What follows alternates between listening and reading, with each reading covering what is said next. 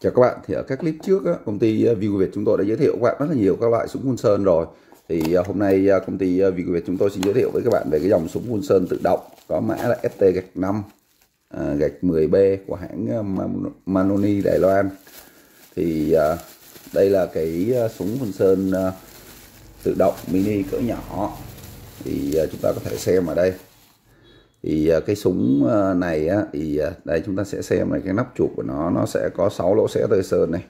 Nó sẽ có số là 1.0 nó là kim bét 1.0 đây là cái ốc để chúng ta có thể siết vào cái giá đỡ để chúng ta có thể là là là là, là cố định.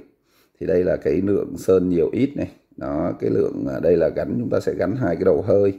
Một đầu hơi nó có cái chữ liquid là nó sẽ xé tơi cái sơn và một cái là e để mở cái kim. Thì trên này nó sẽ có thương hiệu Manoli và cái mã là ST gạch 5 thì uh, chúng ta sẽ mở cái nắp chụp ra chúng ta xem.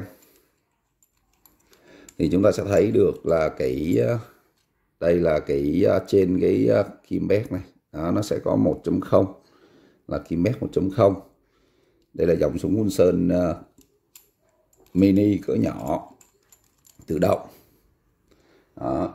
thì à, ngoài ra trong à, hộp đựng á, thì chúng ta sẽ có thêm một cái à, cà lê và một cái à,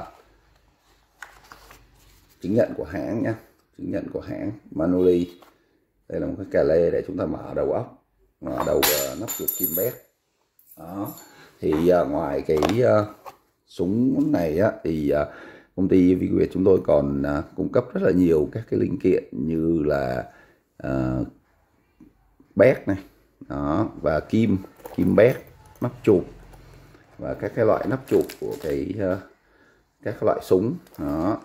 Thì uh, trên đây công ty uh, Vigo Việt chúng tôi đã giới thiệu với các bạn về các cái linh kiện và súng phun sơn tự động uh, của hãng Manoli Đài Loan có mã là ST gạch 5 để ủng hộ kênh và nhận được các clip mới nhất đó, thì à, quý khách vui lòng like, share, subscribe. À, cảm ơn quý khách, chúc quý khách thành công.